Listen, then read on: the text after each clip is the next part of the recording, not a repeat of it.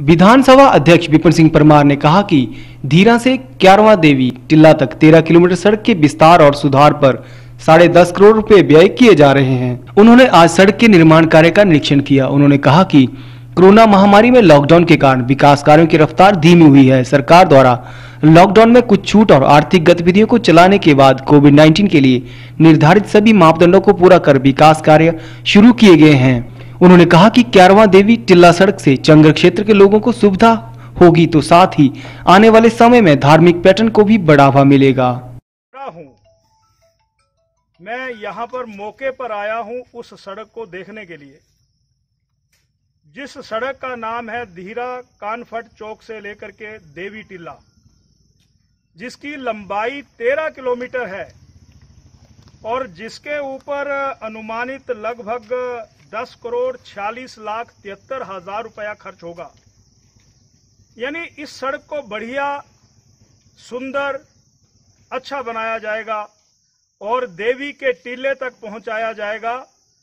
उस चंगर क्षेत्र के लोगों को बढ़िया सड़क मिलेगी और भगवान देवी जहाँ हज़ारों लोग पैदल चल करके पहुँचते थे पर्यटन को बढ़ावा देने के लिए भी ये सड़क अच्छी साबित सिद्ध होगी।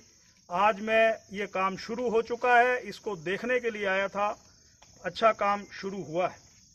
दूसरा मैं ये कहना चाहता हूँ कि सुलह विधानसभा क्षेत्र में पिछले अढ़ाई सालों का अगर ज़िक्र करें तो हर क्षेत्र में कुछ नए आयाम स्थापित किए। पर आज मैं सिर्फ़ लोक निर्माण विभाग की ही बात करूँगा। इस लोक निर्माण विभाग के अंतर्गत इस सब डिवीज़न में, बभारना डिवीज़न में हम चंबी चीड़न को ठिरक के साथ भी जोड़ना चाहते हैं। यानी उस चंगर क्षेत्र के लोगों को अब चंबी चीड़न से होते हुए अछरू बुढ़ाव और नगरोटा जाना पड़े। अब इंतज़ार खत्म हो गया और वो इंतज़ार इसलिए खत्म हुआ है, हमने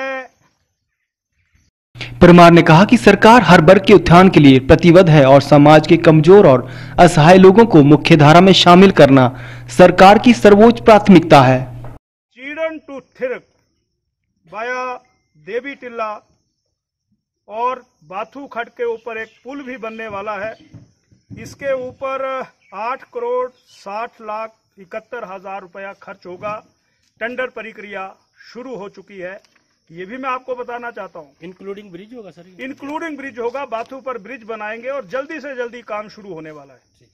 दूसरा मैं ये बताना चाहता हूँ कि जो हमारा सपड़ुल है सुनू है एक ऐसा रोड जो बरसों से छूटा हुआ था लंबी दूरी से होकर के लोगों को सपड़ुल गढ़ या आगे ड्रो इत्यादि पहुँचना पड़ता था। अब उस सड़क के का भी नबार्ड ने पैसा स्वीकृत करवा दिया है। लगभग निन्यानवे लाख, एक करोड़ रुपया उसके ऊपर हम खर्च करने वाले हैं। तीसरा मैं ये बताना चाहता हूँ कि हम सड़कों को जीवन की ये रेखाएँ हैं। ठाकर द्वारा रामनगर, रजेड, टी स्टेट, गोदाम, शिवनगर कॉलोनी राधा कृष्ण मंदिर, Himalaya bye tea factory, slow. इसका भी काम शुरू होने वाला है। हम छह करोड़ पैंतीस लाख रुपया ये मैं सारे आंकड़े जिम्मेवारी पूर्ण ढंग से दे रहा हूँ। छह करोड़ पैंतीस लाख रुपया इस पर खर्च होगा। कोरोना के कारण विकास की गति कुछ धीमी हुई है, पर प्रधानमंत्री जी ने कहा है, अगर जीवन है तो जहान है, अगर जीवन ही नहीं बचा तो जहान को जीने के सपने अधूरे रह जाएँगे। ये गति धीरे धीरे और विकास की आगे बढ़ने वाली है। मैं यही कहना चाहता हूँ, मुझे आज धीरा में आने का मौका मिला और यहाँ सड़क को निरीक्षित कर, निरीक्षण करने का मौका मिला। धन्यवाद।